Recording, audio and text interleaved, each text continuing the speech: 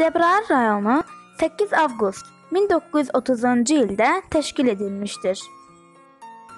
4 yanvar 1963-cü ildə ləğv edilərək Füzuli rayonuna verilmiş, 17 iyun 1964-cü ildə yenidən yaradılmışdır. 23 avqust 1993-cü il tarixində rayon Ermənistan ordusu tərəfindən işğal edilmişdir. İşğal nəticəsində rayona 13928 milyard ABŞ dolları məbləğində ziyan dəyib.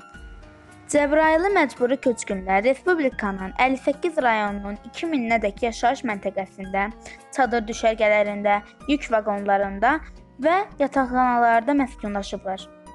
Hazırda rayonun Ermənistan silahlı qüvvələri tərəfindən işğalı davam edir. Rayon əhalisi arasında ərazinin adının 8-ci əsrdə yaşamış Cəbrayıl atanın adından alması ilə bağlı fikirlər var.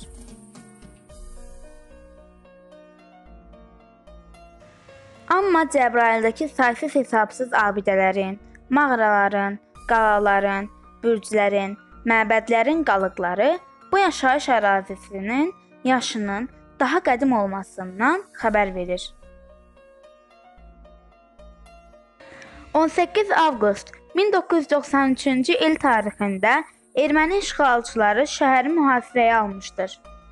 Cəbrayıl fədailərinin və Zəngilan rayonundan köməyə gələn özünə müdafiə qüvvələrinin şiddətli müqavimətinə baxmayaraq, Cəbrayıl şəhəri 1993-cü il 23 avqust tarixində Ermənistan tərəfindən işğal olunmuşdur. 1-ci Qarabağ müharibəsi gedişində Cəbrayıl rayonu ümumilikdə 400 nəfərə yaxın şəhid vermişdir.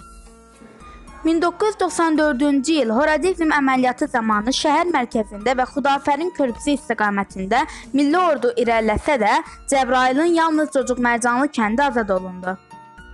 2 aprel 2016-cı il tarixində Cocuq Mərcanlı kəndində yerləşən Lələtəpə yüksəkliyi 4 günlük müharibə zamanı Azərbaycan ordusu tərəfindən işğaldan azad edilib.